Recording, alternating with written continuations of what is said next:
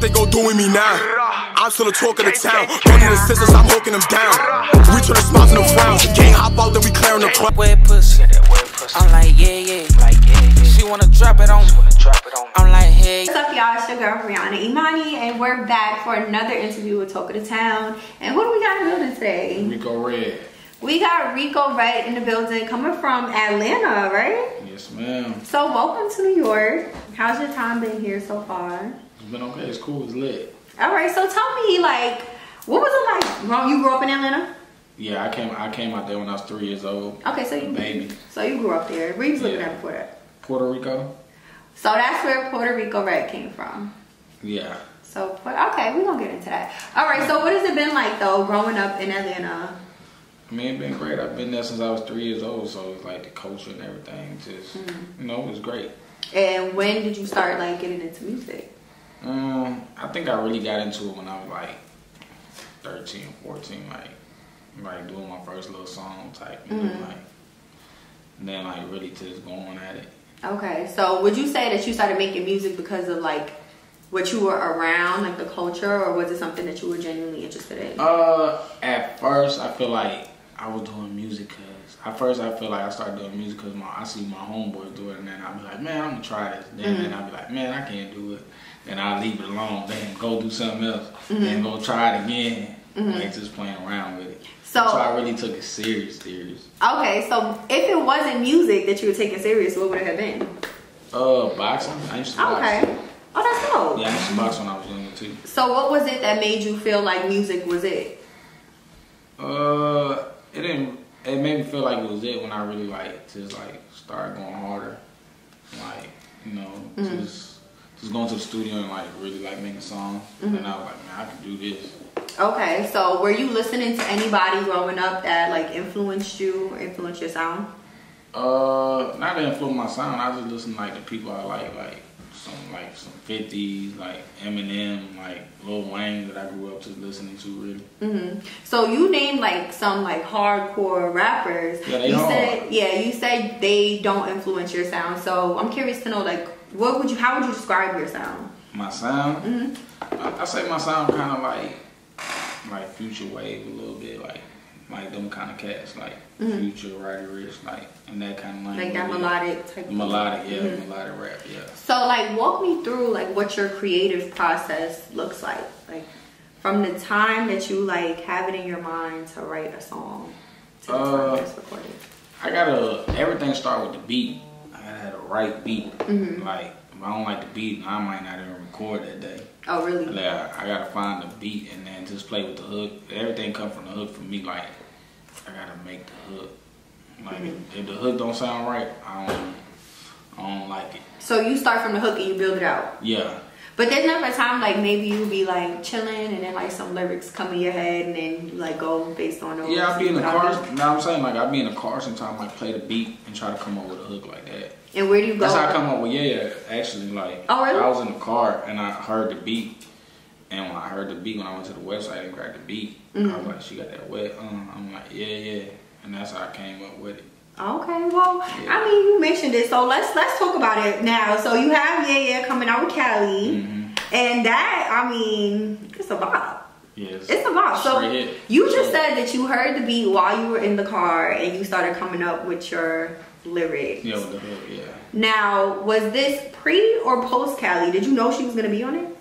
Uh, when I made the song, I, when I made the song, actually when I made the song and I heard it, I was like, I need to go put Kali on it because she was already my homegirl. So I was like, oh, shit Oh, easy. okay, that's dope. So how was it working with her?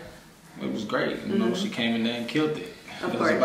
Uh, so and y'all have visuals. yeah, we shot the video and everything. How do you feel? So how do you feel about working with like female artists? Is that something that you like? What- yeah, it'd be dope. I would like to work with a lot of more female artists. like yeah. who? Like shit, like uh, Mulatto, Rubi Rose, like just different, just different artists. I see like they doing their thing and. Mm-hmm. Yeah, I think it'd be dope. So you are like, I guess, right now in the stage of rebranding because all of your Instagram content is basically based around yeah, yeah. Uh-huh. You dropped the names and now you Rico Redd now. Yeah. So what does like who is Rico Redd? What can we like look forward to seeing? With Correct, what you can look for the scene from my music is Mm-hmm. like somebody dope, talk that freaky shit to you, make you feel good. Ooh, okay, okay. have you have you right? That's all. All right. You hear that, ladies. So stay tuned. sure. So you signed to Wolfpack. Yeah, shout out to Wolfpack. Shout out to Wolfpack. How did that come about? How did you? What What was it that made you decide to sign to them? Uh, not his family. Are like it was already. It was already like family, so it was just easy for me to sign to, to Wolfpack because it's already like family. So Okay. there wasn't no question about it. So like removing family aside, if it wasn't your family, would you still have signed or would you stay independent? Uh, nah, I would have signed too because the person that owned Wolfpack, big bro, like he a real solid one, so Mm-hmm. he gonna go hard for you. And then like sign him with anybody else or any other label or something.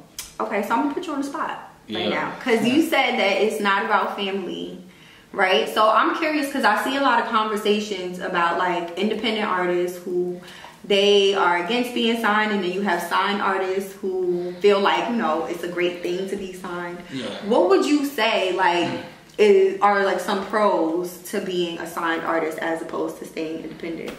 Which means some pros of BS. Like, what do you think are benefits to being? Do you, or do you feel like there are any benefits to being signed? Uh, in some cases, I feel like it might be like other artists, like when you sign to like certain labels, like certain labels don't let you do certain stuff, I guess. Mm-hmm. And then other people would, like some other like like the label I'm signed to Wolfpack. I know he gonna go a hundred times like harder, hard than probably than other labels, cause like he believe in it. So would you say like a pro would be like that your music gets pushed out? Is it that you get connections? Is it that like you're working with people that maybe you wouldn't have worked with before? Yeah, I, I, yeah, I believe in that. Like with the pros, yeah. Yeah. it's probably different. Yeah. Okay. All right. So is there anything that you wish like looking back at the 13 year old you that was making music? Is there anything that you wish you would have known back then that you know now? Mm, yeah, just how to like to like. I feel like when I was younger, like you know, you don't know everything, so you just wish you would have like knew what to do back then, which you know how to do now, like go to the club, like you know, do certain stuff. But of course, you can't do that when you're young, so Of course. you gotta learn everything when you get older, really. So you said go to the club. So like, do you think that that's a big part of establishing yourself as an artist? Uh, Or- something like that. Yeah. Like, So what did you mean when you said that? Just getting yourself out there, basically. Okay. Yeah. Okay. Cause more, cause you know more is like more internet and stuff like that now. Mhm. Back then it wasn't really like that. Back Mhm. then, you know, back then you used to like you had to go out to the clubs Right. Right. right. and like do doing stuff and like be outside every day. Mhm. Now it's just really like internet, TikTok. You know, Do you feel like? easier now. I mean, but you're also in Atlanta, so Atlanta Yeah. is like every like I feel like there are a lot of I mean, artists I be out there. outside. I be outside every night, so Right. that's how. I And I'm sure that gets your name out there. Yeah, of course. That's how I did with my record. Yeah, yeah. I was outside every night before Mm-hmm. I got signed. Like I was outside every night getting my record played Mm-hmm. because I know a lot of people. So what would you say like to artists? How did you how did you make that happen? If somebody trying to get their stuff played in the clubs and stuff, Well, with me, for me, it worked for me. I knew all the DJs already, so I would like show them some love. So of course they gonna show me love. So mm-hmm. that's what a lot of people don't get. Like if people want you to get uh, to go to the club, like people that got their music there, they want to go get it played in the club. They don't probably like show love to the DJs. But with mm-hmm. me, it was different because you know I throw them something, and then they'll go crazy and blast it everywhere I go mm-hmm. and they liked it. And if they like your song, they really gonna go crazy. So that's what it was with my song. They liked it, so they really like kept going crazy like every day, every time I go somewhere, or they'll send me videos to my phone like, boom, I'm playing your song. I was like, I bet. Fuck so just staying well connected, one hand washes the other type of deal. Basically, yeah. Okay, so what song was it of yours that really like popped? Like, what was the song that got you attention?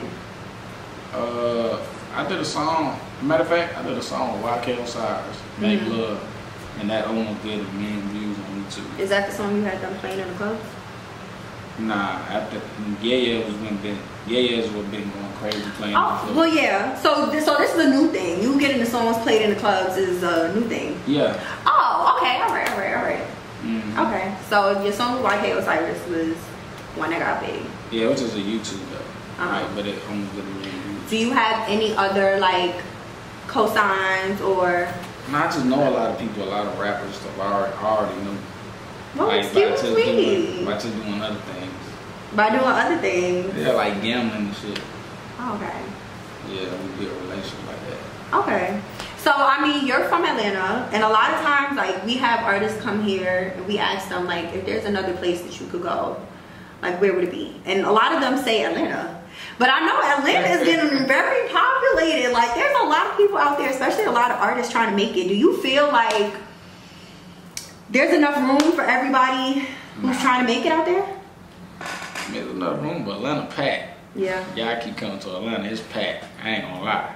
what you trying to say? It's no packed. more room, Atlanta right? is packed. Ain't no room for no more people. Atlanta is packed. But we love There's it. There's a lot of people. Y'all Nah, sure. So okay, so Atlanta is packed. You saying there's no more room for us. So where do you think would be like the next best place for an artist to go if they wanted to make some connections and make it work? If they they're not allowed to. I'm just talking, but nah, Atlanta, Atlanta, Atlanta, the place to come to. This is where all the music is. Black Hollywood. Like you gotta Right. come to Atlanta for real, for real. If you had to choose another place outside of Atlanta to be, where would it be? Mm, probably Miami. Why? Why Uh, Miami? If I had to choose another place to stay at, Yeah, like you I choose like, Miami. I like Miami. It's a vibe. He like to party. I was thinking that's what I'm like. You saying that like I like the party, the party vibe. I like the outside. I like the sun out there. I like the beach. Okay, Yeah, for sure. Beautiful woman. he outside for real. Okay. Outside. So what? So what ultimately is like your goal when it comes to your music career? Like, what is it that you would like to see come out of this? Mm, I, I think I would like to be one of the top artists. Mm -hmm. Would you like to be one of the top artists in terms of people really bumping your music, or just like one of the most well-known artists? People really bump my music, really fucking on. So if you were making music and people liked it, but you weren't really seeing anything from it, would you keep making it? Yeah, of course. You Yeah. gotta keep grinding. Okay, that's good. Cause not everybody gonna like your music. I think you know that. Everybody's not gonna like your music. Some people will be like, oh, I like this kind of music. I like that kind of music. Everybody Mm-hmm. gonna probably like the, all the music I make. hmm I'm just checking your So it's temperature. gonna be okay. different. Okay, so like, what are some things that some artists rather that you would like to work with? Um, Uh, of course, Drake, Future, uh, Rod Wave, Lil Baby, Mm-hmm. Latto. Just different artists. I think it's interesting you have Lil Baby on your list and y'all signed to the same label. Yeah, but we ain't never made a song together. That's know, my boy. I know, I know, I know. So like, how is it being signed to a label with somebody that you were you bumping Lil Baby before you got signed? Yeah, I knew him before I got. I already knew. See you okay? Excuse me. yeah. So you was already connected to Lil Baby. Yeah. Is there anything in the works? Anything that maybe in the works? No, not right now, but probably in the future. Okay. All right. So if you had to give like your top three things for an upcoming artist Mm-hmm. to have down pat to make it in this industry, Mm-hmm. and keeping in mind that everybody is not as well connected as you, because we know that you are connected and protected out here in these streets. If you had to choose like three things that you think are like the most important, what would they be? Uh, that they should do. That Mm-hmm. they should do right. Uh, stay in the studio. Uh, make a lot of content. And just be on the internet a lot. Be on the internet a lot. Yeah, like get your music all the way out there, and like keep like you know go get all the connects that you can possibly try to get. Like just keep grinding, basically. Don't let nobody tell you you can't do it. Okay. Okay, so um what are your plans for 2022 as we move along? You just dropped a big single. For sure. So what else can we expect? Uh, after this single, drop another single. I'm gonna drop another single, and then probably tape. Are you dropping a single, a solo, or is it gonna have a feature on there? Nah, that one got a feature. Then after that, it's gonna be Ooh. solo. Who's the feature? It's a surprise. Is it a, a label mate or no? Nah, nah, somebody else. Atlanta? Yeah, he from Atlanta. It's a boy. Yeah, Yeah. yeah, it's, a, it's definitely a boy. Yeah. Okay. Highly anticipated or on some calm shit? You don't say it's highly. Highly anticipated. Of course. Of course. All right. And so you said, and you working on the tape. That's already in the works. Yeah, I'm, yeah. So what's that sounding like? Oh, the tape gonna be crazy for sure Mm-hmm. And when can we expect it? For the summertime. You got a name? Mm, not yet. I'm working on it. Okay. I'm keep keep making these records. Fair enough. Fair enough. But we'll be looking forward to it. So is there anything else that you want to talk about, touch on before we wrap this up? Nah, I just want to say shout out to Wolfpack. Um, you can find me on all platforms, you know. And if you grinding, keep grinding. That's all you gotta do. All right, y'all. Thanks for tuning in.